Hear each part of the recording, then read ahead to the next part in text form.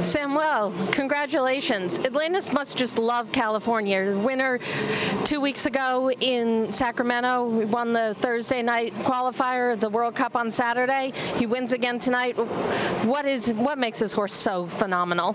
Yeah, the horse is unbelievable, really good. He is also is very fast in the jump off, and then he's careful. And today, a little lucky. The other riders one down, and then I win.